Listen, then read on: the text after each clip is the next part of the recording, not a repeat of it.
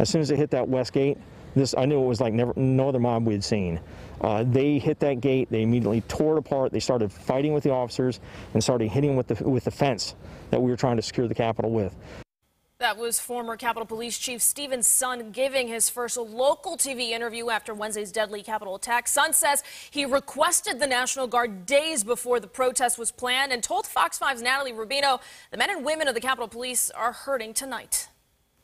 In his first on-camera interview since the attack, former Capitol Police Chief Steven Sund fought back tears when recalling what his officers went through during Wednesday's Capitol siege. And while he does take partial responsibility for what happened, he did not hold back when placing the blame on the federal government for failure to launch the National Guard.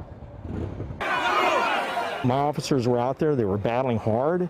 They were doing everything they could to protect the Capitol, and we had to go through that. And that's, you know, that's what's concerning. Sund says after he was denied permission by the Senate and House Sergeant of Arms to request the National Guard Monday, he followed up with the Army five times on Wednesday as rioters stormed the Capitol. I needed boots on the ground, immediate assistance right then and there, helping to form police lines to help secure up the foundation of the United States Capitol building. They were more concerned with the optics. The National Guard did not show up until three hours later, and by then the attack had already become deadly. These officers were fighting. They were fighting for hours to protect that Capitol.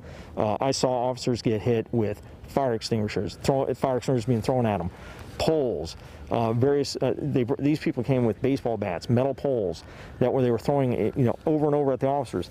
Why weren't there any more Capitol Police officers when we knew we couldn't get the National Guard? There was. Uh, we had as many Capitol Police officers as we can put on it. Sund said about 1,400 Capitol Police officers were working that day, and even with other agencies providing backup, it still wasn't enough. Is this something that you prepare for as a force, you know, guarding the nation's capital? Absolutely, absolutely. We, we, we prepare for it all the time. We prepare for, you know, various events. Uh, again, this was, this was something like I've never seen. Do you feel you're unfairly taking the blame for this?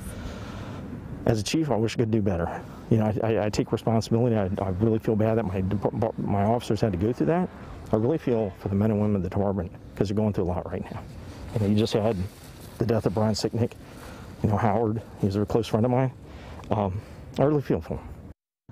Two Capitol police officers and four protesters died following Wednesday's riot. I did ask Sund about the video of police officers opening gates for protesters. He said that's under investigation.